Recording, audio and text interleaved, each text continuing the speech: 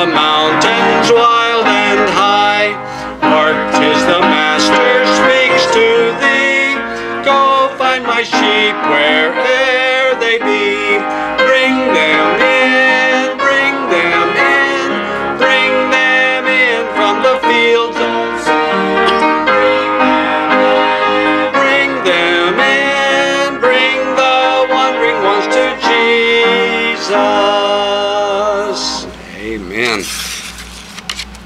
right, uh, let's have a word of prayer.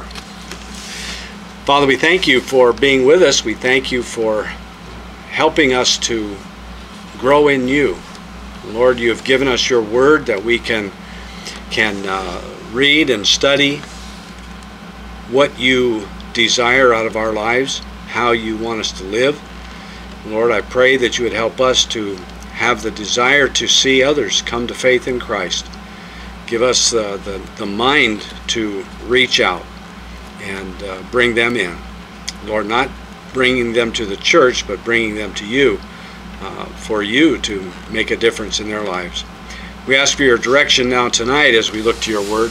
Give us wisdom and understanding as we hear again, uh, as you speak to us. I pray in Jesus' name, amen.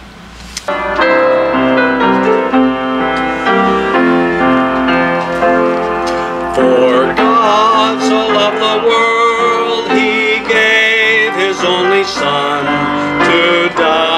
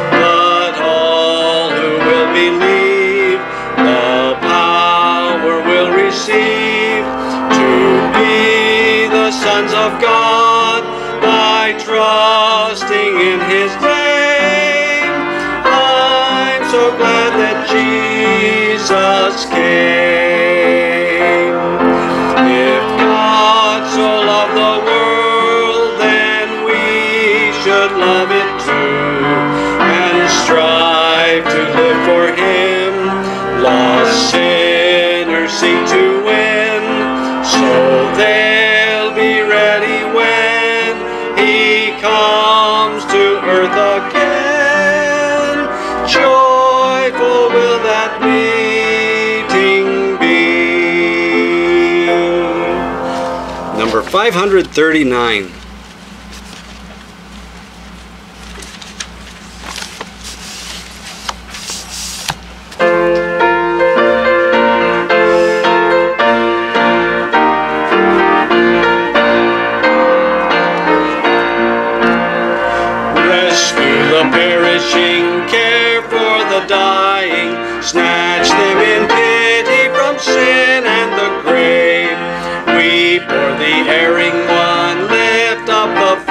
Fallen,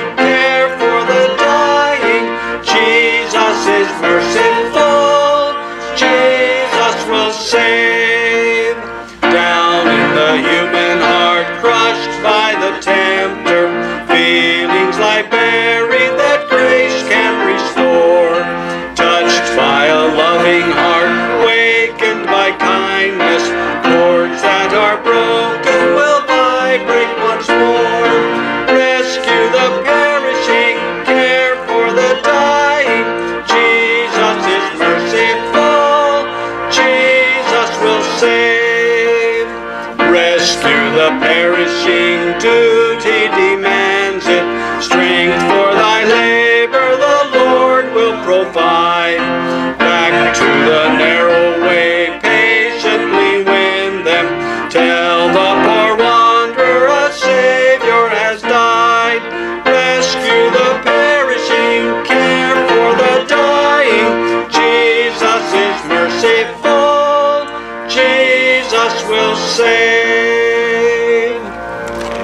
Thank you, Jerry, and thank you, Owen. Going now to Acts chapter 13.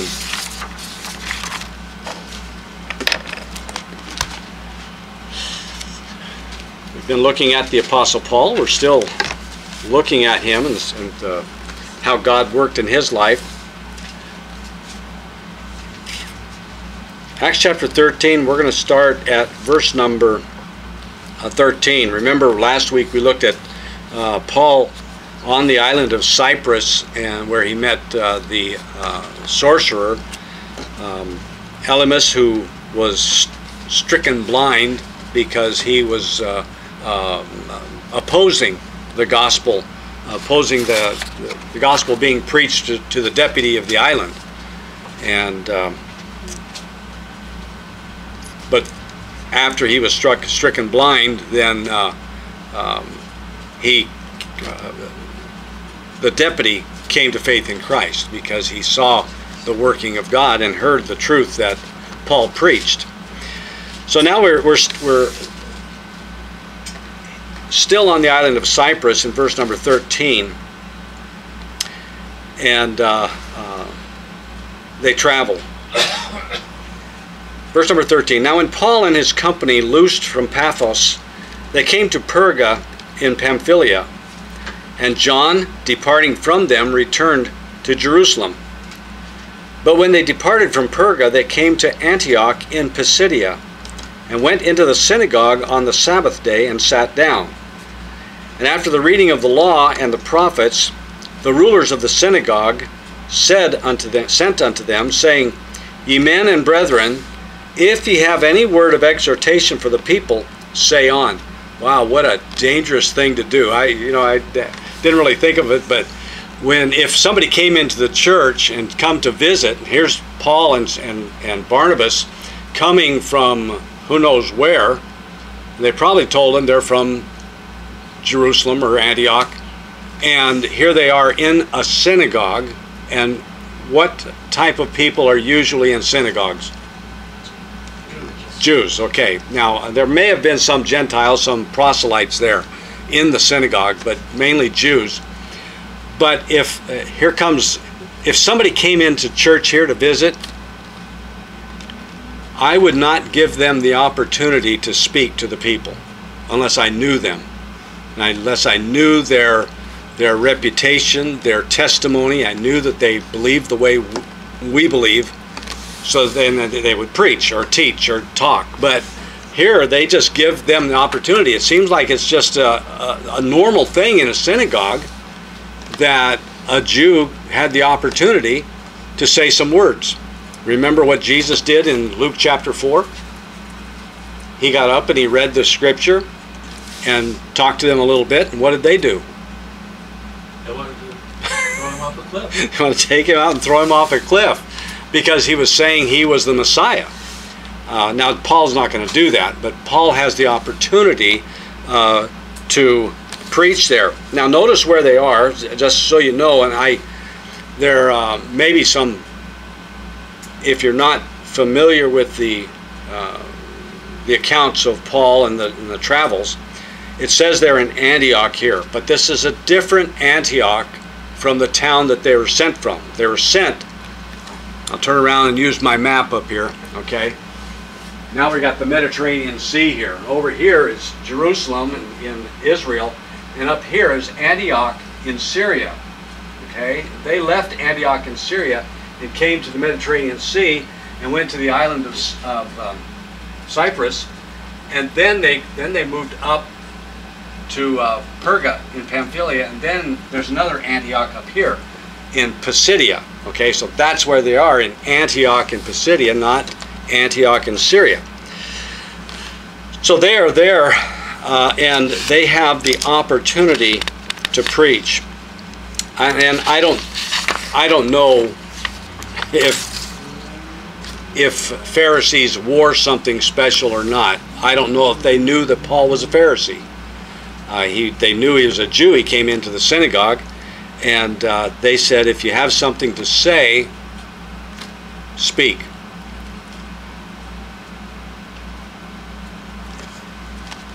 Paul then uses the opportunity as he speaks. He, he does speak a lot, and um, he preaches the gospel. He tells them what they need to know. When we have an opportunity, there are many times we have opportunities, but we keep our mouths quiet. And we need to learn to see the opportunities, to take those opportunities. I want to read um, a little account. As, um, I'm pretty sure it was Adoniram Judson, um, a missionary back in the 1800s or 1700s, who came back from the mission field and had the opportunity to speak to the people of his country, England, and he spoke. And what he what he did was he preached the gospel to them. And somebody said to him afterwards, the people are very much disappointed. He says, why? What did they want? I presented to the best of my ability the most interesting subject in the world. But they wanted something different a story. Well, I am sure I gave them a story, the most thrilling one that can be conceived of. so the same same person says to him, but they they had heard it before. They wanted something new from a something like uh, from a, uh, a remote part of the world and tell what happened to you. Well, he says this. Then I am glad they have it to say that a man coming from a remote part of the world, had nothing better to tell than the wondrous story of the dying love of Jesus. My business is to preach the gospel.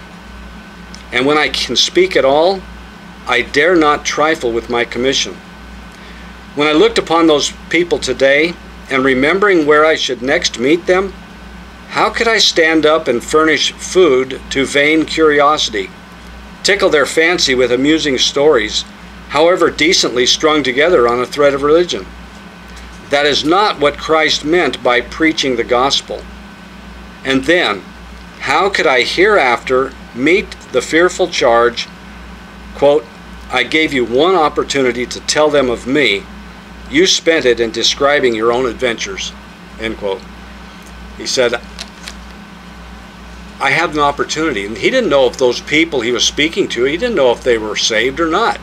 But he took the opportunity to preach the gospel, not stand there and tell a bunch of stories. And I, I, I remember having a, a visiting preacher, probably a, a per person who was on, uh, on the way to the mission field.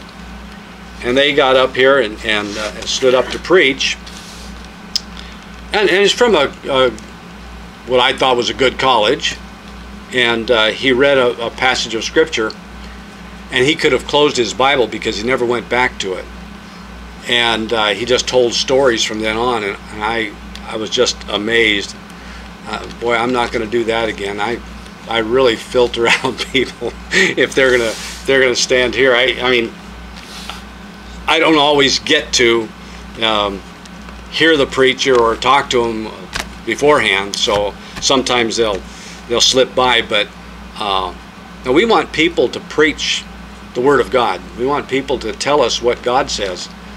Now we can read what God says, but sometimes we need, you know, even the even in the Scripture, it tells tells us that the prophets and uh, the leaders read the Scripture to the people, and then it says that they gave the sense of it they needed to hear in their own words what God was telling them. And so sometimes we need extra people, extra help in determining what God wants us to know. And so we do write, read the scripture, but we need somebody to help sometimes. Paul stood there and he preached the gospel. Look at uh, verse number 16. I think I stopped at verse 15. So Paul stood up here, it says. Then Paul stood up and beckoning with his hand said, Men of Israel, and ye that fear God, give audience. this is what I think we, we need to remember. People need to hear the gospel. People need to, uh, they have to hear it before they'll listen to it. You know what I'm saying? They can hear it, but it's going to skip and pass their understanding if they're not paying attention and desiring to know what the gospel is. He says, men of Israel, and, and he's, he's talking to one group of people, and even he might be speaking to, in a sense, two groups men of Israel and those that fear God. Okay, there are people who are saved, or, or I shouldn't say saved, I'm, people who are Israelites, but they don't fear God. So he says, Ye men of Israel, number one, you are God's people. Number two, some of you fear God. he says, both groups here, or the whole group, maybe most of you do fear God, but I'm telling you, he says, give audience. Now, that word audience, if you uh, think of words, I, I do a lot. Audio, meaning the sound, the audio system in the church here is the sound system. Audience, you know, it's somebody who is listening. When there, when there's a, uh, if somebody's, if if we were showing a movie up here on the screen, we watched a movie, and everybody's here. Uh, you would be the audience, right? Watching it. But you're watching it and listening to it. If you're just watching it and you don't hear anything, you'd be the vidience. But we wouldn't be, nobody calls it that, would you? Audience. The word is, is where we get the word, the Greek word gives us the word acoustics. And that also has to do with sound. So Paul is saying, all of you people, listen. To give audience means to listen, to pay attention to what I'm going to say. It's an important thing that he's going to speak. So he says, I want you to listen carefully because it is what God wants you to know. It is the truth, the absolute truth of the gospel. And so, both groups, there are people who we talk with about the gospel. And sometimes they they actually look in their countenance they look like they're really interested. But they're but sometimes they're not. But they want to be nice they want to seem nice and they'll listen to you. And um, then they then they walk away from you when you're done and they forget all about it because they really didn't care. And so they need to learn to fear God they need to understand that God expects out of all people obedience. Does God expect obedience out of unsaved people? Yes. He wants them to be saved. That's obedience. He wants them to obey. And then they can walk with Him. But uh, He wants, I mean, that's why Jesus came for everyone uh, to be able to be saved people in all, I believe in all religions, and I, I won't say just all uh, quote unquote Christian religions, uh, those who talk about the God of the, the Bible. Uh, but there are other religions. I believe there are people who come to their religious services out of habit more than out of desire to know the truth. I think if they really wanted to know the truth, God would show it to them and they wouldn't be in cer certain churches or religions. They would be leaving. But there are most of the people go because it's their heritage, their culture. They grow up in one religion and they don't they don't know anything else and they said this is this is the way my parents were and this is the way I am. Instead of seeking what God wants and what God expects. Paul says, give audience. Then he goes on. Well, let, let me let me show you what um, what some people, the people that, that that who are who will listen.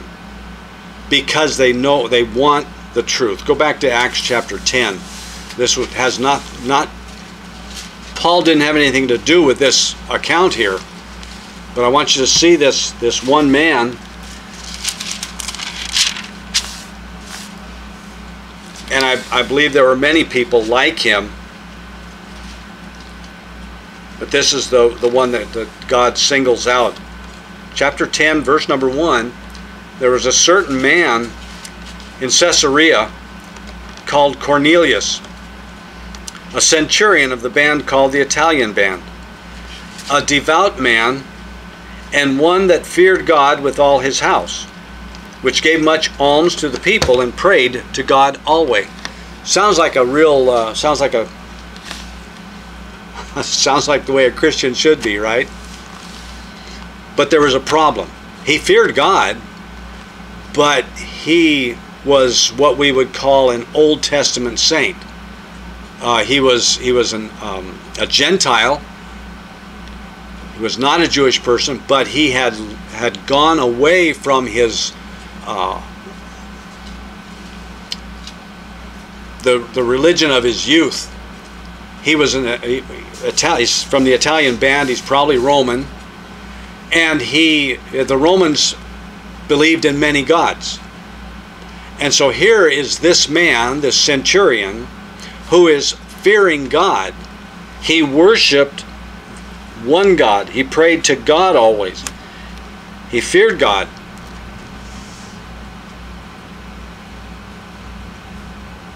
And Paul said, Ye that fear God, pay attention. Well, if, if Cornelius was there in that group, and he wasn't, if he was in that group, he would be paying attention because he needed more than what he knew. He knew that there was one God. He threw away all of the false gods, Apollo and Mercury and all of those people, people, all of those myths, and he turned to the one true God, like the Jewish people did. But he didn't know that Jesus was the Messiah. Like the Jewish people did not recognize Jesus as the Messiah and they kept refusing that, many of them. Paul needed to tell them what they what they needed to know. And so Paul teaches these people the gospel of Jesus Christ. But he doesn't start out saying, if you died today, do you know you'd go to heaven? what does Paul do? He gives them their own history. He begins speaking to them about themselves and their history beginning at Egypt. Look at verse 17. The God of the, this people of Israel chose our fathers and exalted the people when they dwelt as strangers in the land of Egypt and with an high arm brought he them out of it. And about the time of forty years suffered he their manners in the wilderness. And when he had destroyed seven nations in the land of Canaan, he divided their land to them by lot. And after that, he gave unto them judges about the space of four hundred years, on fifty years, until Samuel the prophet.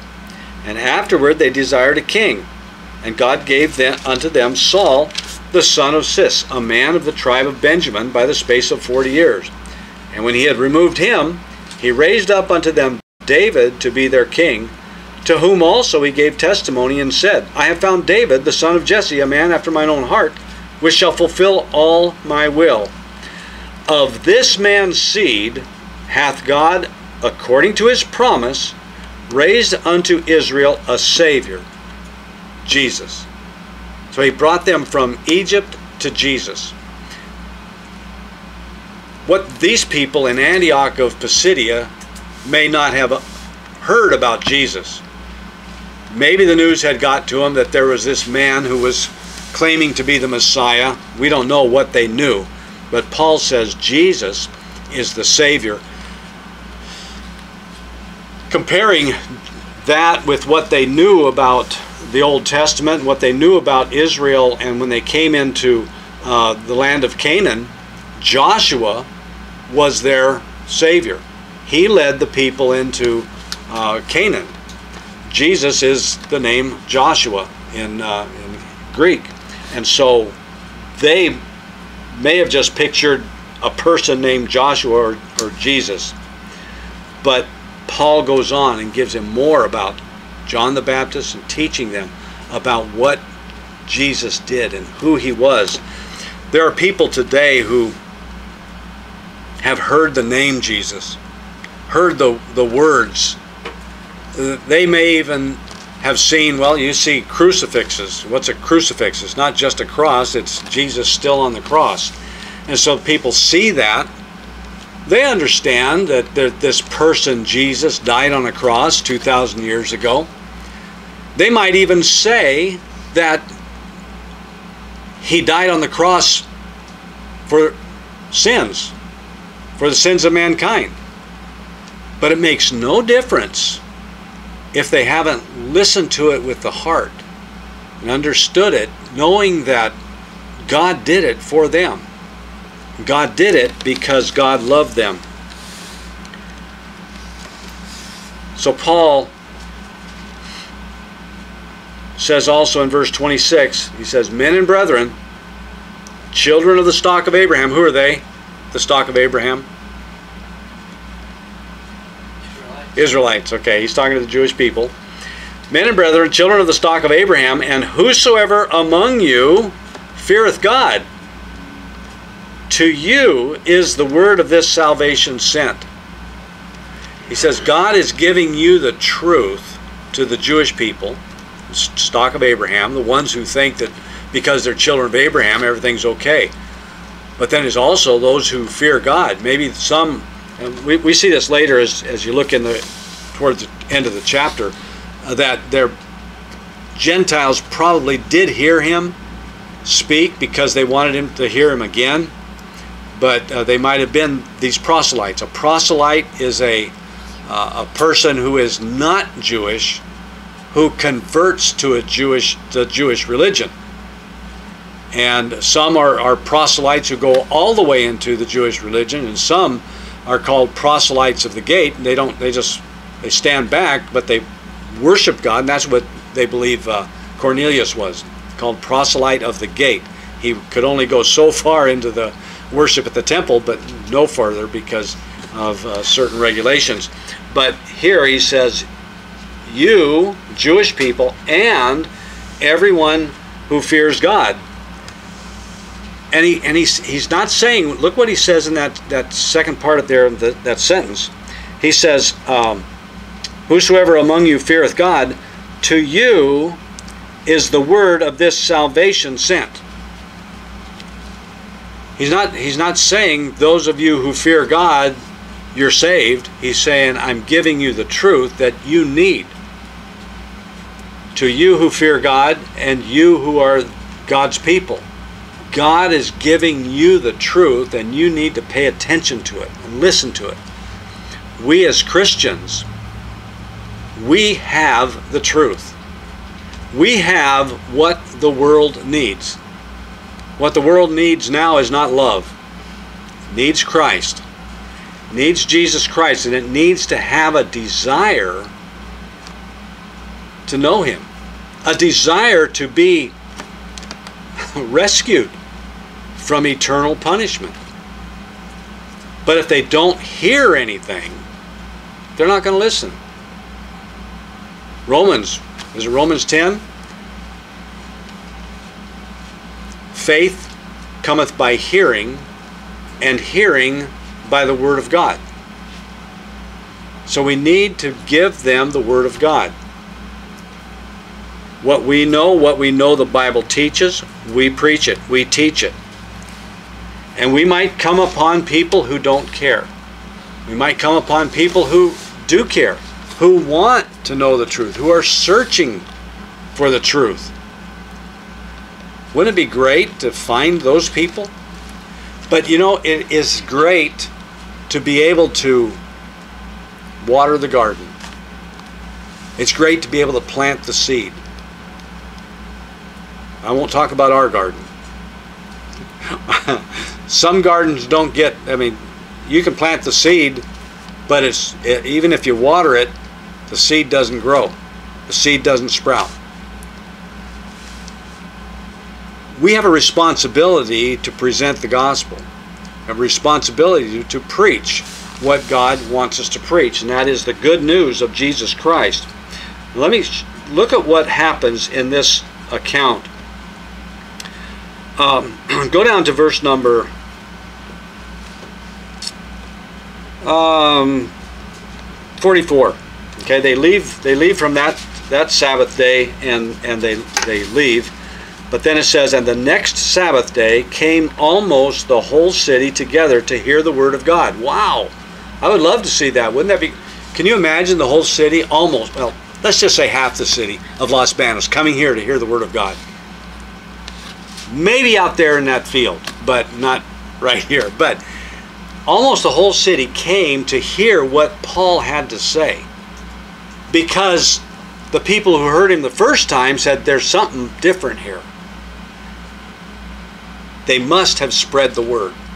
These people who may not, not have even believed say, man, this guy is teaching something that is really cool. And people came. So, anyway, almost the whole city to hear the word of God. Then there's this word, but, okay? But when the Jews saw the multitudes, they were filled with envy. What are the multitudes? Not Jewish people. Okay? They are racist, in a sense. They were filled with envy and spake against those things which were spoken by Paul, contradicting and blaspheming. Wow. And they were God's chosen people. Now they're against the truth. They don't know it, but this envy is overtaking their thoughts and their emotions. And they're speaking these bad things about Paul. Look what they do. Then Paul and Barnabas waxed bold and said, It was necessary that the word of God should first have been spoken to you. He's talking to the Jews. But seeing you put it, ye put it from you, and judge yourselves unworthy of everlasting life. Lo, we turn to the Gentiles. Whoa, man, I, I, I really wouldn't have wanted to be part of that group. But they probably thought, great, go talk to somebody else. Don't bother us with this gospel. And there are people in the world who'll do that right today. Good. Leave me alone and go talk to somebody else. Okay. That's up to you. You judge yourself unworthy. Not, uh, you know, I'm giving you the truth. And if you don't want to accept the truth, I'm sorry. But they go to the Gentiles. He says, For so hath the Lord commanded us, saying, I have set thee to be a light of the Gentiles, that thou shouldest be for salvation unto the ends of the earth. And when the Gentiles heard this, they were glad and glorified the word of the Lord, and as many as were ordained to eternal life believed. And the word of the Lord was published throughout all the region.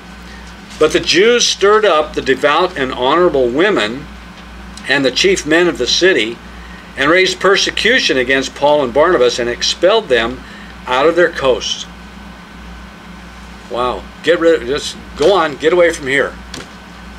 But they shook off the dust of their feet against them and came unto Iconium. And the disciples were filled with joy and with the Holy Ghost. Wow. Filled with joy after they've been treated like that. After Paul and Barnabas were kicked out of this town and and the disciples are filled with joy. Why? Because Jesus said that we should count it all joy when you suffer for his sake. And uh, and here they were suffering. Remember though, they did, and in, in this case, they, they planted the seed.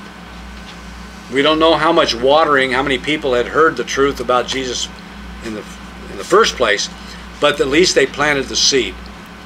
We've got to remember that we can't be, uh, uh, we can be disappointed to an extent, but we can't be down if nobody ever pays attention to us. You can't let people make you feel like you're not doing your job. How many people are any of us going to send to hell? Zero. people's, if they reject the gospel, they're on their way already. And so don't let people, God does the saving. Paul says some people plant, some people water, but God gives the increase. It's not you, it's not me, it's not the church, it's not an evangelist. It is God who saves people. We present the gospel. We preach the truth. Paul preached, and God gave the increase. He, he, people rejoiced, people were saved, but overall, those people didn't want him in their town, and they kicked him out. If that ever comes to that, all right, we just we did our job. That's what God wants us to do. Preach the gospel to every creature and let God do the work in their hearts. All right, let's pray. Father, we thank you for Jesus Christ, and we thank you for the example of missionaries who have gone forth and preached the gospel and taught the gospel. Lord, it's the truth that we are to present to people. And we don't know how they're going to receive it, how they're going to either accept it or reject it. Sometimes it falls on deaf ears, and uh, they look like they're interested, but they don't want to have anything to do with us. But Lord, help us to stand up for you and preach the gospel and teach the gospel. Be evangelists the way you want us to be. I pray in Jesus' name. Amen.